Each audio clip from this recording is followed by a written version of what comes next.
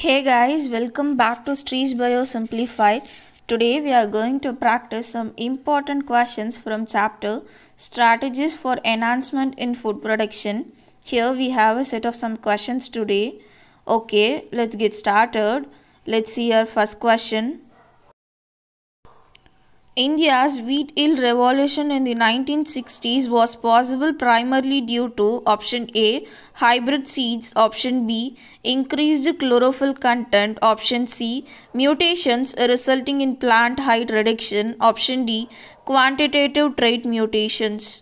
The Green Revolution began in the 1960s, but it's confirmed that it began in 1953 through the introduction of high yield crop varieties and application of modern agricultural techniques and led to an increase in food production in India.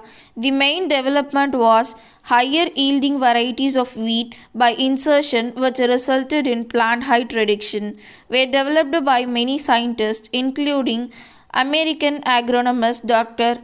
Norman Borlaug, Indian genetist M.S. Swaminathan and others.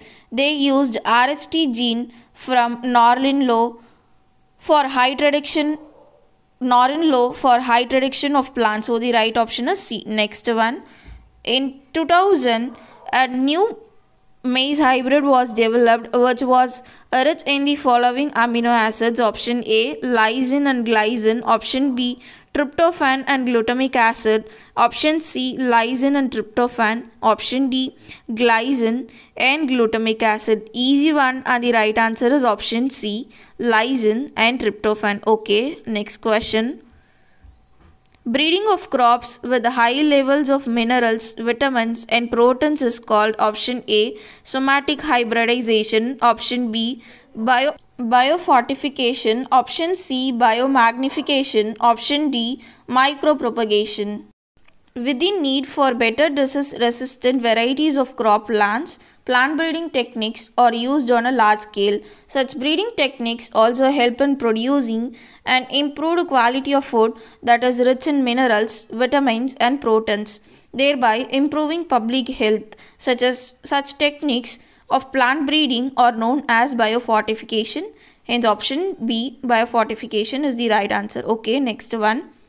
Which of the following can drastically affect the egg and chicken consumption in a country? Option A, bird flu. Option B, inbreeding. Option C, outbreeding. Option D, crossbreeding.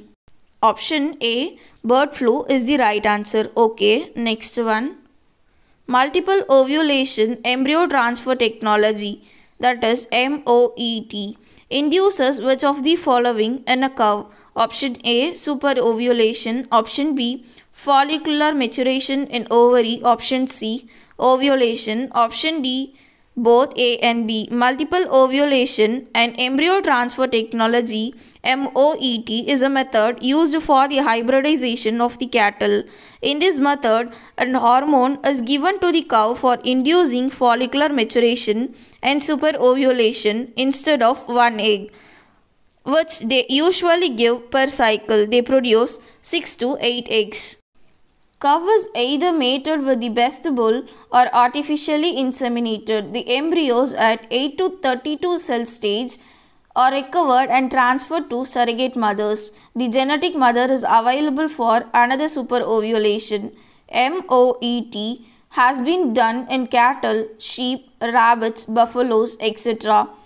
High milk giving breeds of females and high quality meat giving bulls have been successfully bred to obtain better breed in a short time. Hence option D is the right answer for this question. Uh, thank you so much for watching. If you guys like this video, please don't like forget to like, share and subscribe to my channel. Stay tuned. Bye.